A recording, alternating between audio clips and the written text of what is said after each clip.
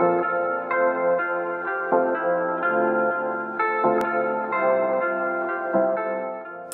guys, welcome back to my channel. So today's video is on this colorful eye look. I really don't know what to call it, um, but it is using the Jaclyn Hill palette by Morphe. Um, I'm trying to like rotate out my palettes and use them a few times in the week.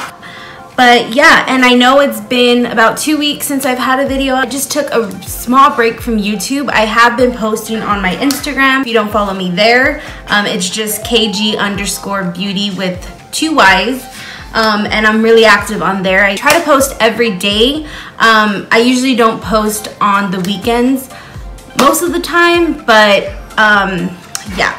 So if you don't follow me there, you should. Uh, but yeah, so now I'm back and I've been wanting to create this look for a while. Um, and yeah, so if you'd like to see how I got this look, then go ahead and stay tuned. So starting off the look, I'm priming my lids as always and I'm using the NYX eyeshadow base in Skin Tone.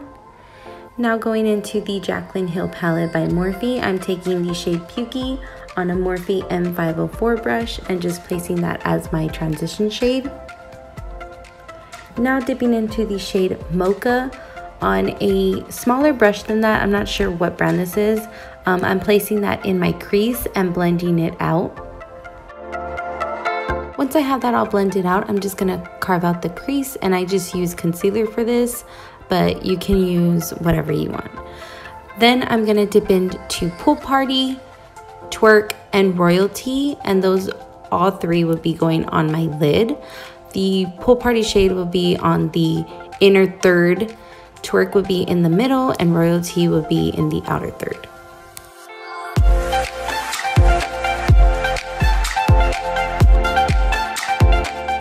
Went ahead and finished the other eye, applied a wing liner, and now I'm just applying a coat of mascara to my top lashes. Move on to the face, I'm taking the Cover FX Perfector palette and I'm applying that contour shade. And it's a little dark for me but I made it work. Um, I just switched brushes. Um, but I actually really like the way you look. Then for blush I'm taking the Pink Passion blush trio and I'm taking the shade Rose for my blush. And then for highlight I'm taking the Artist Couture Diamond Glow Powder in Purple Dream and this has been my favorite highlight recently. So I just apply it on top of my cheekbones, down the bridge of my nose, and on my chin. Now for the lower lash line, I'm just taking Twerk and smoking that out at the bottom. And I did have some purple, so that's why it looks more purple than blue. Um, and then for my inner corner highlight, I'm just taking Pool Party. And then for the brow bone highlight, I'm mixing Beam and In Light.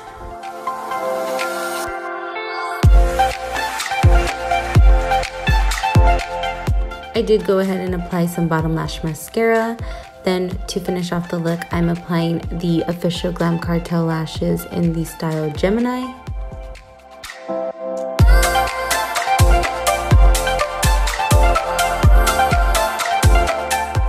So this does complete the look. Um, it's not really a full face tutorial because I didn't do like foundation and concealer and you know the base stuff but um, I tried including majority of the routine. Um, but I hope you all enjoyed this video. Don't forget to give it a bit thumbs up. Subscribe if you have not already. And don't forget to follow me on my other social media platforms. I do have my beauty Facebook page. I have Snapchat. I have Instagram and Twitter. Um, but yeah, I hope you all enjoyed and I will see you all in the next one.